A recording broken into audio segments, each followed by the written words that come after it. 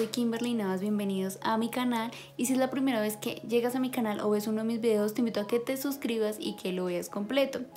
Hoy vamos a estar haciendo este maquillaje, les voy a enseñar cómo hacer un cut crease eh, clásico abierto. Y también les voy a estar hablando de esta pomadita de cejas de Raquel, una reseñita. Y nada, les cuento todo al respecto, así que si quieren saber y ver este tutorial, sigan viendo este video. Bueno, vamos a empezar, como ya les dije, vamos a hablar de este betoncito de Raquel y como las cejas es lo que me hago primero, pues de eso vamos a hablar primero. Lo primero que hice es Raquel, delineador de ojos y cejas con trigo y avena. Este producto no es nuevo, yo sé que muchos de ustedes ya lo usan, pero yo no lo conocía y me da mucha curiosidad pues porque hablaban muy bien de él y por eso hago esta reseña porque de pronto hay otras chicas que tampoco lo conocen. Este es en el tono 7 Coffee, yo la verdad no sabía qué color escoger y vi que este 7 Coffee era como muy universal y le quedaba muy bien a mucha gente, así que ese pedí y la verdad y siento que sí me quedó el color. Vean, viene así, aparte siento que trae mucha cantidad pues porque lo uso muchas veces y vean el desgaste se ve que rinde y vale aproximadamente 8 mil pesos también les voy a dejar una tiendita virtual donde van a poder encontrar esto y la paleta de sombras que vamos a estar usando hoy por si les interesa y pues vamos ya a pasar a aplicarla a ver qué tal. Esta brochita que es así de ángulo. Saben que es como la que uso y mientras me lo voy aplicando que ustedes vean cómo lo hago les voy a ir hablando del producto. Siento que el color se puede manejar súper bien, o sea que este tono sí lo va a ver mucha gente. Trata simplemente de difuminarlo e intensificarlo más según como el tono. Y bueno, algo que sí les tengo que decir de una que yo creo que es lo que más de pronto a mucha gente le interesa es si el producto es a prueba o no de agua y no. No es a prueba de agua, no es de larga duración. Tampoco lo promete, ¿no? pero sí siento que pues es de muy buena duración. Lo que sí pasa es que obviamente al no ser de larga duración como tal, sí transfiere. Pero algo que sí me fijaba en estos días que lo estaba usando para venir a pues contarles, aquí tengo un pedacito como de hueco que no tiene pelito, que yo prácticamente me lo dibujo, que sería esto aquí así.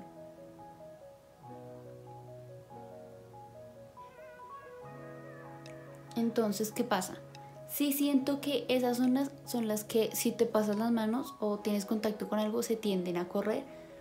Porque casi siempre que pues los días que puse a prueba esto sentía el desgaste ahí que se me perdía como donde no tenía pelito. Es decir que se adhiere el producto muy bien al vello y ahí se mantiene pero donde lo dibujamos sobre piel eh, no dura pues tanto. Pero pues lo que les digo si se toca no sé si ustedes no se pasan la mano no sé acuestan a dormir no se abrazan mucho efusivamente con nadie, pues no se les tiene por qué ir.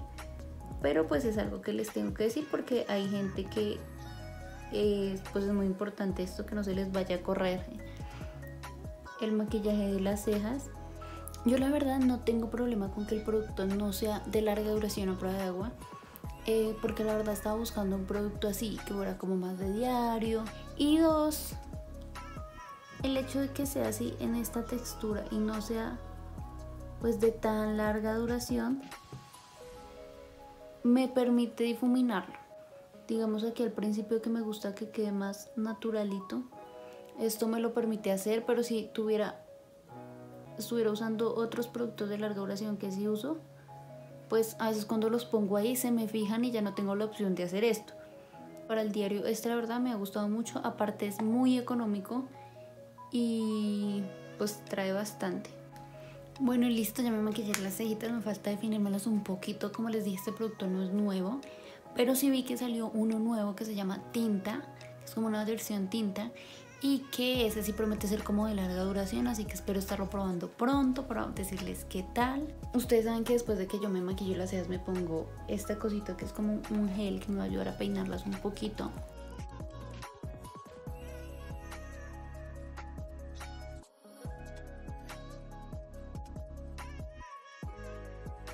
Y ahora voy a pasar a usar este corrector de Lager para ayudarme y limpiarme un poquito el borde de las cejas.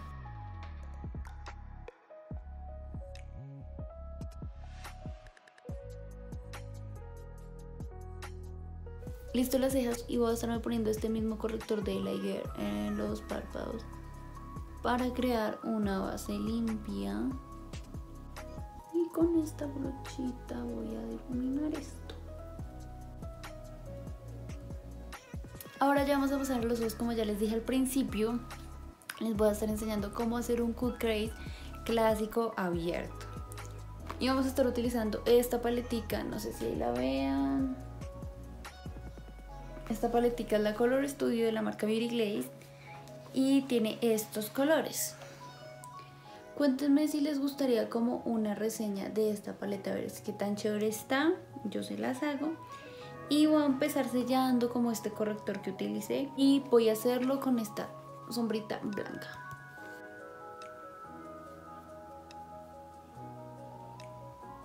Y este es como mi color de transición súper básico que es como un caramelo, un ladrillo, el que uso yo para todo pues. este color va a ser como mi tono principal y creo que cogí una brocha muy grande, pero lo voy a poner como en toda la cuenca. Y algo que es importante es que lo vamos a poner como por toda la...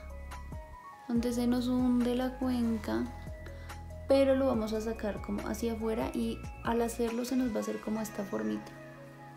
Voy a coger ahora otra brochita limpia con la que voy a estar tratando de suavizar un poquito este color.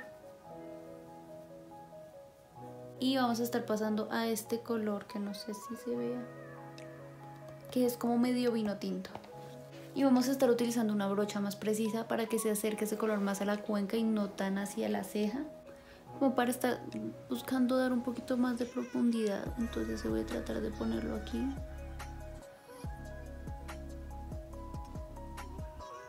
y vamos dándole aquí la forma, o sea, sacando todo.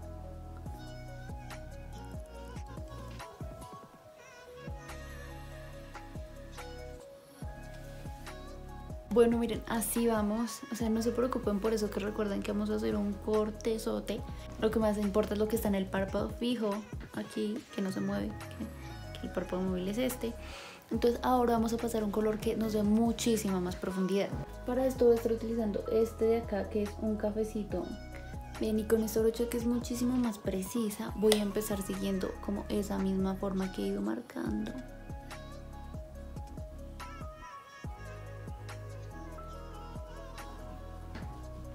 Con una brochita como en la misma forma, pero esta es un tris más grande.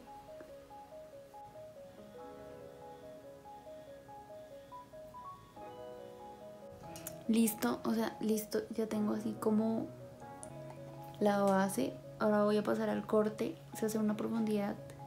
Esta profundidad queda muy bonita cuando tenga el corte. Bueno, aquí podríamos hacer el corte solamente con corrector. Por a veces pasa que el corrector no queda el efecto tan chévere porque hay mucho color acá y se vuelve como una mezcolanza donde el corrector se vuelve como del color de la sombra. Entonces en esta ocasión me voy a ayudar primero de un pañito de estos húmedos para limpiar un poquito como la zona donde voy a hacer el corte como para ayudarle un poquito a mi corrector miren ya va tomando formita ahora que ya me ayude con el pañito ya voy a pasar a hacerlo con el corrector aquí vamos a hacer este corte con el corrector y lo que pueden hacer es para guiarse es poner bastante aquí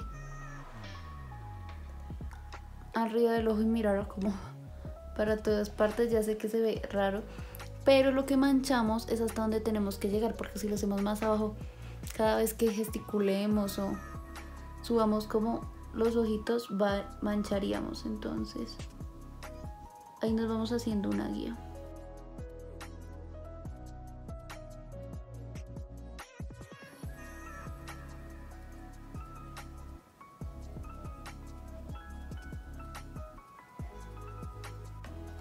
listo, ya terminé como el corte, ustedes lo pueden pulir, tomarse tu tiempo, la verdad todo lo que hicimos era para que cuando hiciéramos el corte se viera de más clarito hacia más oscuro y se generara la profundidad para que el corte acentuara más esa sombra oscura y pues esto se viera muy cool.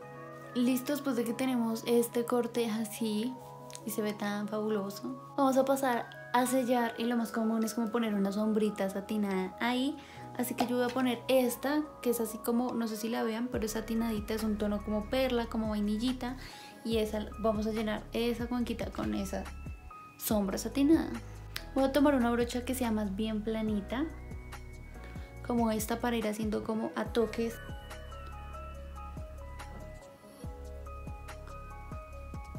Tono muy parecido al corrector, solo que pues es como brillante.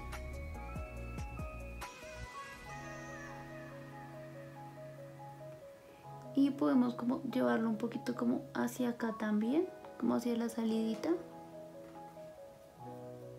y listo después de que llenamos ese corte se ve así. Y el delineado es muy importante porque tiene que ir como en dirección a, a este corte que hemos hecho pero no debe cerrarlo pues porque ese es como este cut crease clásico abierto. Debe ir como paralelo pero sin cerrarlo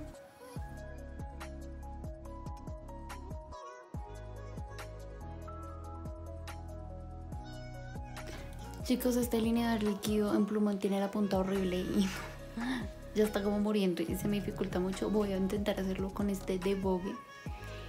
Sino que casi esta presentación de, de delineador líquido no me gusta porque me cuesta mucho delinearme sin untarme horrible las pestañas.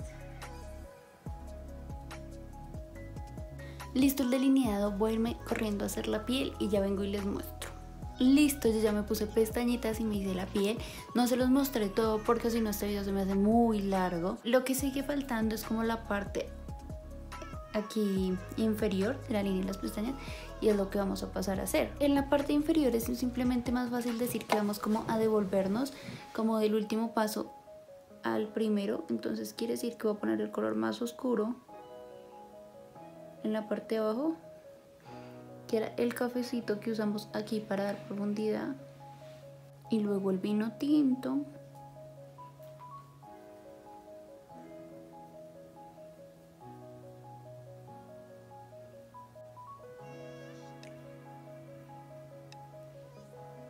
Y por último el primer color que usamos que fue como ese naranjito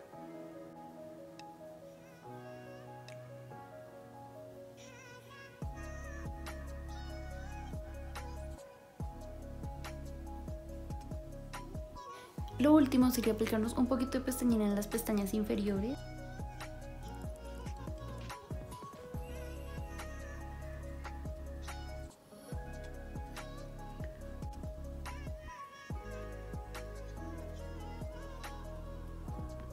Bueno, y este sería como el último paso. Lo último que me puse en los ojitos fue un poquito como de iluminador. Y ya. Como pueden ver los ojos se ven un, poquito más grandes porque esto hace simular que hay mucho espacio en nuestros párpados. Entonces es una técnica que a mí personalmente me gusta mucho, aunque hace rato no me la hacía y espero les haya gustado. Si llegaron hasta acá se los agradezco mucho y los invito a que se suscriban a mi canal.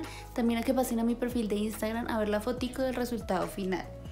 También recuerden que en la parte de abajo les voy a dejar una tiendita virtual donde pueden conseguir esto y esto que fue como lo que usamos, ahí lo pueden conseguir porque a veces me preguntan dónde los pueden comprar, por si les interesa. Y nada, eso sería todo, gracias por ver este video y nos vemos en un próximo.